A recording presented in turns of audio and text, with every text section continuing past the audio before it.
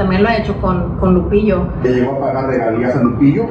Yo creo que hasta la fecha nunca le pagó. Luego que los hijos de Jenny Rivera, Jackie, Mike, Jenica y Johnny demandaran a su abuelo don Pedro Rivera debido a la supuesta explotación indebida de las grabaciones de su fallecida madre, este salió a defenderse diciendo que todo es mentira y que sus abogados arreglarán el asunto.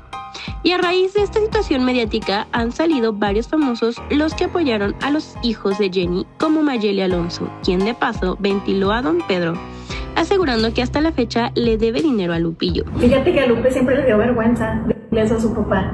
Le daba pena, eh, no lo quería hacer sentir mal. Según Mayeli, estas eran regalías millonarias y solo por sentimentalismos Lupe no tomó acciones contra su padre. Yo no, yo no tengo yo a nadie, a nadie le explico los negocios que tengo con mi papá. Cabe mencionar que el toro del corrido rápidamente se pronunció en sus redes sociales, donde dijo que su sobrina Jackie y sus hermanos trataron de arreglar con don Pedro sin abogados, pero él puso resistencia y más bien fue el quien pidió que esta situación se resolviera mediante la vía legal. Eso quiere decir que nadie sorprendió a don Pedro, sino que él ya sabía a lo que se atenía y que pronto iba a tener noticias de los abogados de sus nietos. Mis sobrinos simplemente quieren pues proteger lo que la mamá les dejó. Los negocios son negocios. Creo le iban a perdonar, creo, unos años también. Por su parte, Lupe también dijo que actualmente ve a su papá preocupado y sentido con su familia por esta demanda.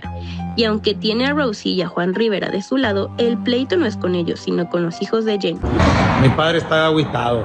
Mi padre está muy sorprendido. Pero ahora tenemos a Doña Rosa, quien no solamente defendió a su ex marido, sino que además se le fue con todo a Mayeli Alonso por meterse en un pleito familiar. Pues yo creo que por ahí andan los chetos. Los voy a sacar y se los voy a refregar en la boca nomás para que vean que sí. Muy enojada con la situación, Doña Rosa aseguró que ella vio con sus propios ojos cómo se le pagó a Lupillo hasta el último peso y finalizó diciendo que Mayeli solo busca promocionarse con todo este escándalo. ¿Por qué tú no le pagabas regalías a Lupe? Lupe no le va a contar todo a la mujer.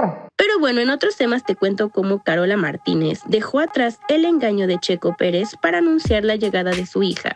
Así que si te lo perdiste, aquí te lo cuento todo.